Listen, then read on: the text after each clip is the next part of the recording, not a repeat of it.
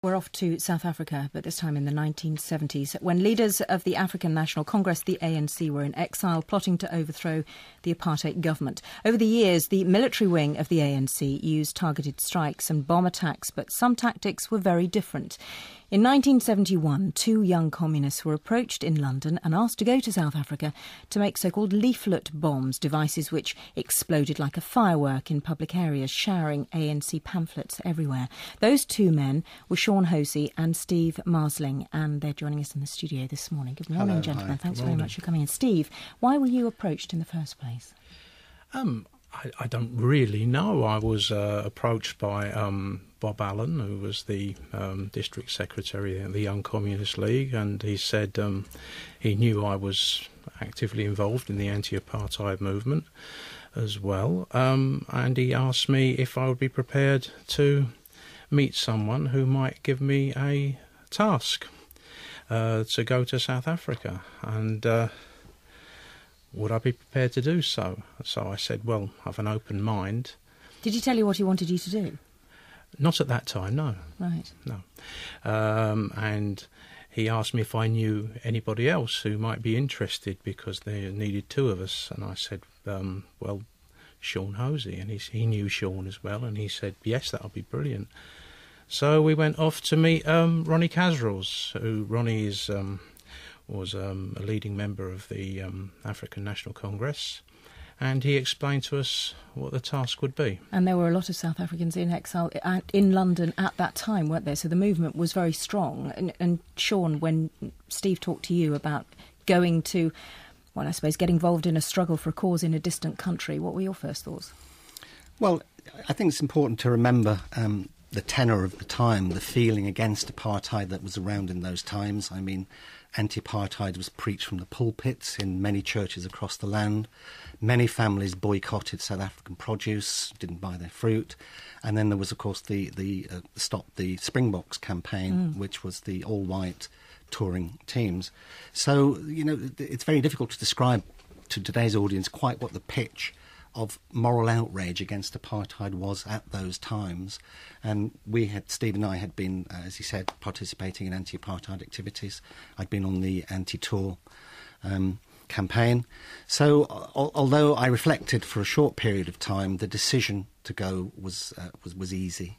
Uh, an opportunity to take another step. Which might help defeat apartheid. It's one thing, though, both of you being involved in marches in London, Yes. um, uh, anti apartheid marches. It's another thing, isn't it, to be asked to go to South Africa and create these so called leaflet bombs. I mean, th- they weren't, uh, obviously, we won't go into the details of how they were created. They were basic, there was no intention to harm.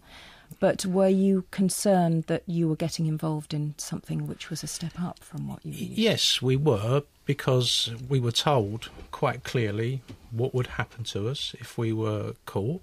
No one tried to hide the fact that it was dangerous, but it was an opportunity, I think both of us felt, it was an opportunity to show solidarity with people who were living in terrible oppressive times. And Sean, you practiced making them here in London, didn't you? And, and Yes. setting them off Yes, as well I mean, publicly. the word bomb is a bit of a misnomer, and obviously um, I don't want to go into details uh, because I've been told not to for one Yes. reason, but and it's inappropriate. But suffice it to say that they were um, not anti-personnel issues. The ANC, as you pointed out earlier, did not engage in indiscriminate anti-personnel activities, even though they might well have done, which probably helped the reconciliation at a later date, actually. So they were quite simple devices, and um, we were taught how to take uh, the leaflets in uh, in a false bottom suitcase. It sounds very, uh, very amazing, um, but that's how it was done. It And seems what did- what did the incredible in those days that say? that could have happened. The leaflets basically. I, I, mean, at the time in the early 70s, as you've said, many many of the ANC um, had had to leave the country. Many others, with Mandela, uh, the whole leadership of the ANC had been put into prison for life or very long terms. And so there was this hiatus, if you like, right at the beginning of the 70s, before the trained young men could come back into the country and before the Soweto uprising took place. There was an interlude w- w- which we had to help to fill. The, bo- the, the leaflet said, The ANC lives, the ANC is still here for you.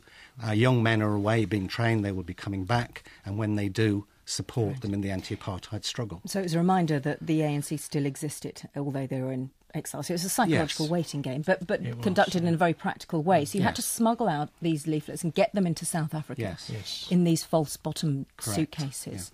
Uh, were you ever discovered? Did were there any suspicions raised when people Um, saw you? Not really. No, um, we we had some some f- near misses on the way. Um, we we had to assemble in a kind of bucket um, the firework like device because the whole idea was that we would set a certain timer and they would just go up in the air the leaflets would go up in the air and people would um you know be able to run and catch them and you know because obviously handing out a leaflet in South Africa against the government was illegal. You got a five year prison sentence uh, under the Suppression of Communism Act, which was a catch all act. And so that was what we what we did. So you had five of these these bucket devices, and That's you went to. Central Cape Town. What happened when you set them off? Well, Well, I mean, unbeknown to us, at exactly the same time in four other major South African cities, other people were doing exactly the same. So we were not aware of that, of course, for security reasons. So what happened is, on a particular day, at five o'clock precisely in the afternoon, five or six of these devices went off in all the major cities of South- South Africa, and it had the most amazing effect on, on the government and on the press. The Prime Minister was livid, um, and they were shocked and knocked back on their heels that the ANC was capable of conducting something like this.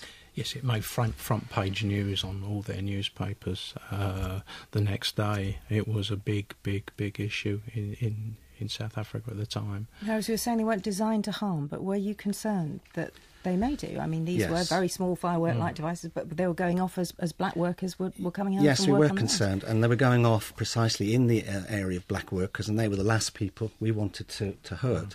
I mean, all I can say to you is that over three or four years, when many, many such operations took place, not a single person was injured by any of these devices. In And I- fact, the only person that was nearly injured was myself, because one of the devices um, had a life of its own, and I set the timer, and immediately for about 20 minutes, and immediately it started to roll back towards naught to go off within a couple of seconds.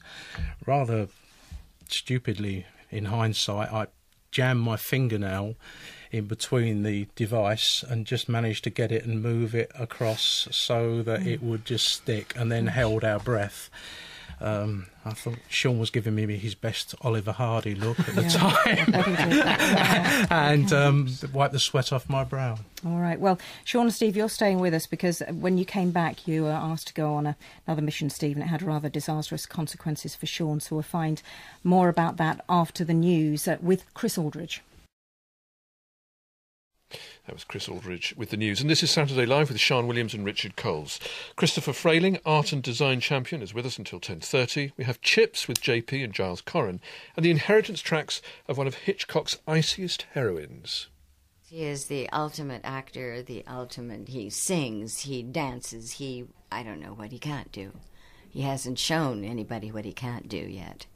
And besides that, he's Puss in Boots.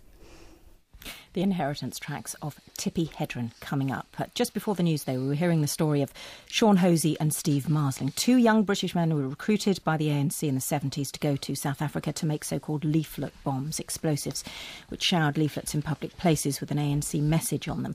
Now, when they came back, Steve was asked if he wanted to go on another mission. Steve, you couldn't go, and Sean went in your place. Did you know what the mission was? Uh, yes, yes, the mission was explained to us. Um, on the face of it, it seemed more straightforward than the first. It was simply to take um, some money and passbooks in for some uh, some of our African comrades who, as I said earlier, had had to leave the country, but were now beginning to come back in. To operate within South Africa, they had to have passbooks. People might remember the hated passbooks, which uh, restricted the movement of African black people in South Africa, so they needed those. So my mission was to take in uh, money, passbooks for four of those people. Um, unfortunately, uh, when I got there, we discovered that they'd already previously been arrested and under torture had unfortunately revealed a code word uh, which was a warning to us. Uh, and the South African security police had worked out how to delete that warning code word. Hence, it was a trap. Right.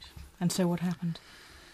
Um, well, I turned up at the uh, venue to meet the uh, person I was supposed to, gave the appropriate password. Uh, he took the documents from me.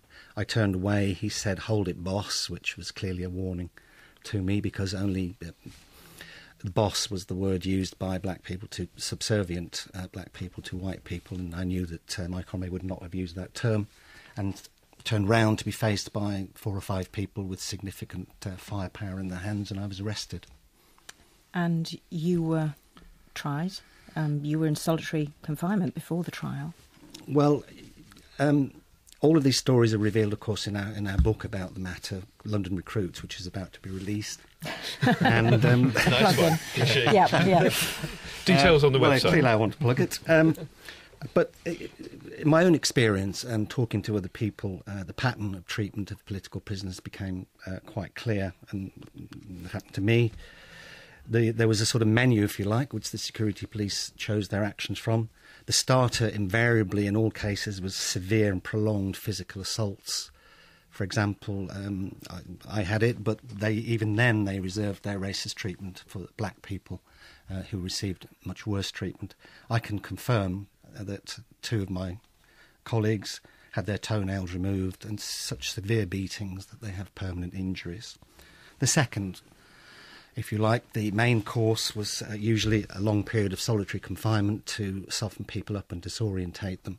Periods, months and months and months. My own was, was eight months. Um, and then they had some uh, fun and games with little tactics, for example, um, which I experienced again, and, and, a lot of other people experienced. They would take you out in the middle of the night into a mealy meal or a sugarcane field, uh, into the middle of it, where a hole would be a grave like hole, you would be forced to kneel down, and then suddenly behind your ear a very large pistol noise would be made, probably a starting pistol. Of course, invariably the the reaction to that is to move away from the sound of the pistol, and you would tumble into the grave, uh, and they would have you believe that this was your grave. And then you were taken back to jail and put back into solitary confinement, and were in on death row for a while. Yes, well, uh, I'll share that with you if I may. It's a bit harrowing, but uh, okay. uh, yes, I did spend some time in Pretoria. We were all all political prisoners were in Pretoria maximum security, and they they segregated white and black prisoners even to that extent. Their racism knew no bounds. So the black prisoners were on Robben Island, and we were in Pretoria. Part of my time though was spent uh, at the uh, condemned section of Pretoria Central Prison, where invariably there were at least 100 people awaiting execution. Um, and in my time there, experienced uh, quite amazing scenes. Thursday was hanging day. They hung seven or eight people uh, together. The gallows could cope with that. And on Tuesdays, the note from the state president notifying the seven or eight who were to be hung would be received at the prison preposterously started with the word greetings. Um, How are you? How are you? Yes, here's your here's your death warrant. Um, but what was astonishing was the level of support for those uh, condemned people that happened between the Tuesday evening and the Thursday morning, and that took the form of everybody singing, and they sang for 36 hours. You'd be interested in this, Christopher. Mm. Sang uh, so movingly fantastically in that deep African rhythmic mm. sound, unaccompanied just the voice. All they had were their voices, but they uh, fought back. So, and to get the condemned through the night.